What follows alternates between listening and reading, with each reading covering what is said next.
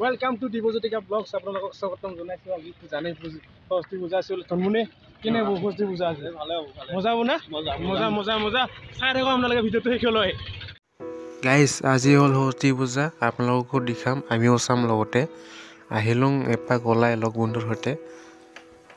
আজি চাম হ'ল হায়াৰ ছেকেণ্ডাৰী পূজা এইখন আপোনালোকক দেখাম গেটৰ পৰাই। বলক তেনেহ'লে। এইখন হ'ল হায়াৰ ছেকেণ্ডাৰী গেট। সুন্দৰ সুন্দৰ ছোৱালীবিলাক ওলাই আহিছে পূজা চাবলৈ এইবিলাক চাওঁ হায়াৰ ছেকেণ্ডাৰী স্কুল হয় এইখানে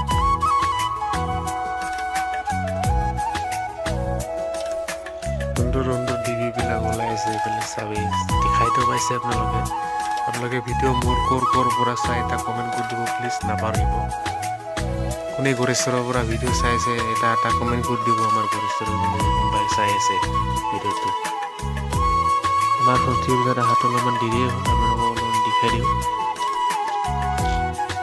তাৰমানে আমাৰ অলপ পূজা আছিল পূজা চূজা কৰি ল'লোঁ গাঁৱত এতিয়া আপোনালোকক অলপমান দেখাব আৰু নাই কি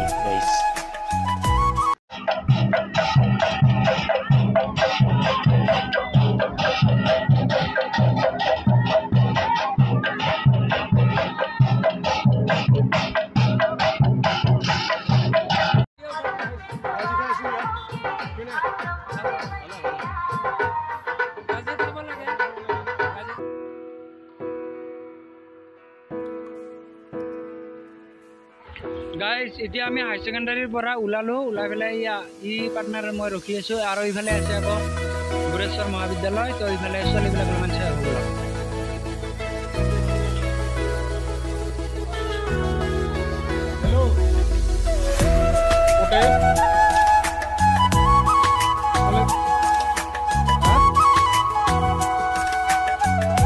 ক'ত পুলিচতে আছোঁ মই